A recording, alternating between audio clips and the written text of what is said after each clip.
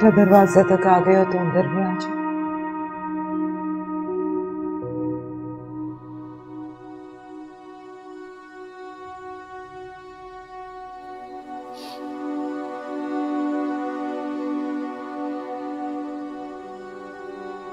کتنی دوری ہو گئی ہیں؟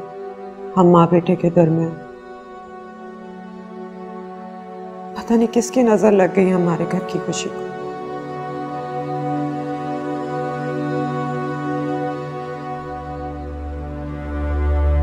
کیا بات ہے شافی؟ اتنے چپ کیوں بیٹا بات کرو مجھ سے۔ میں تھک گیا ہوں، ماں۔ آپ کی ضد اور انا کے آگے میں تھک گیا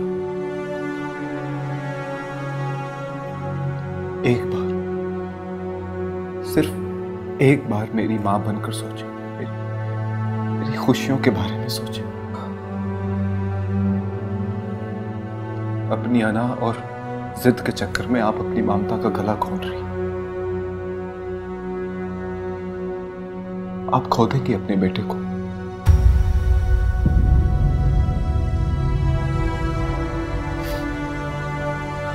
اگر آپ نے تایا جی سے معافی نہ مانگی اور دلنشی کے لیے بات نہ کی تو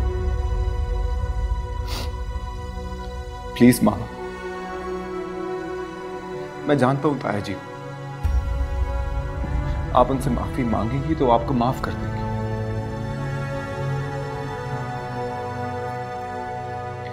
آپ چپ کیوں ہیں ماں کچھ بولے نا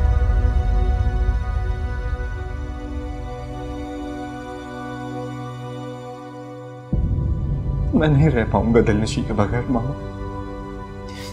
آپ تایا جی سے بات کریں۔ اگر آپ نے تایا جی سے بات نہ کی تو وہ اس کی شادی کہیں اور کر دیں گے۔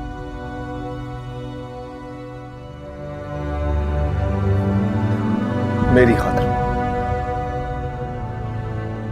میری خوشیوں کی خاطر آپ تایا جی سے بات کریں۔